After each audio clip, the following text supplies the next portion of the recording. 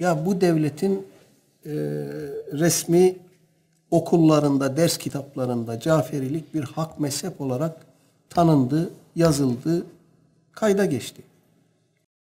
Bunu yapanlar arkasını düşündüler mi bilmiyorum. Bu memlekette bir Caferi nüfus var. Bu Caferi nüfus rencide olmasın veya bölünmesin, ayrılmasın falan filan. İşte Güneydoğumuzda bir bölücü hareket var. Bunlar da bir süre sonra buraya kapılıp gitmesin diye bir düşünceyle yapılmış olabilir bilmiyorum.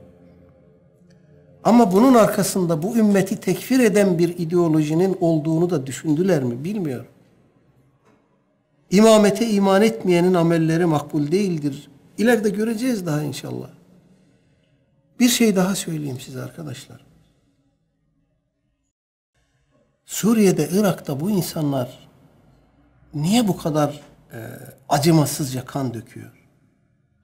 La ilahe illallah Muhammedur Resulullah diyen insanları niye bu kadar acımasızca katlediyorlar?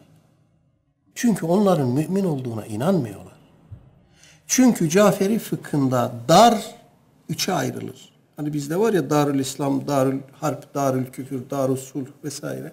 Üçe ayrılır. Darül İman, Darül Küfür ve Darül İslam. Darül Küfür belli.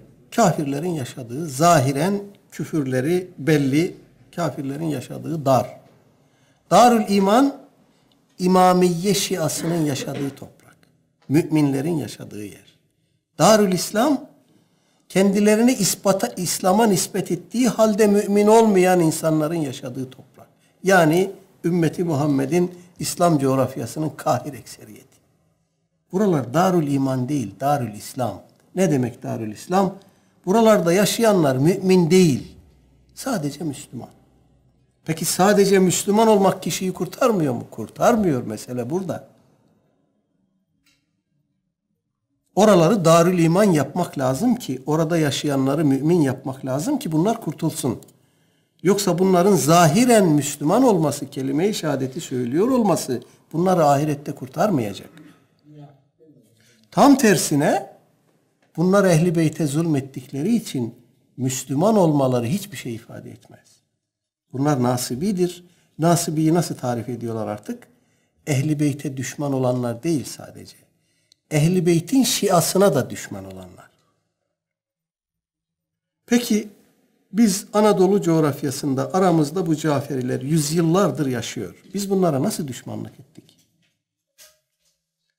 Düşmanlık etseydik bu Caferi nüfus aramızda yaşayabilir miydi?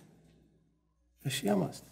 Ama onlar kendi aralarında Caferi olmayanlara, imami olmayanlara hayat hakkı tanımıyorlar. İşte İran'daki, Irak'taki hadiseleri görüyorsunuz. Suriye'yi görüyorsunuz. Onun için yani e, bu bizi aşıyor.